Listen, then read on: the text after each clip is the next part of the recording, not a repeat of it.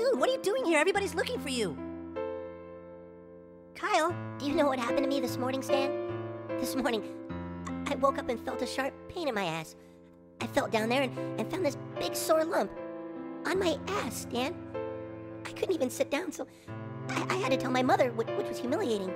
She took me to the doctor, which was more humiliating, a- and he told me I have a hemorrhoid. It's like an infected blood vessel on your ass.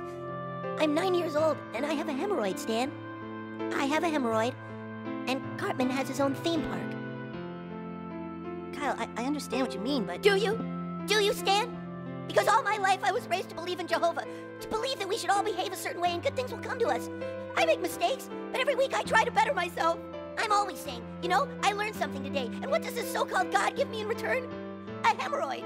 It doesn't make sense. What is your logic?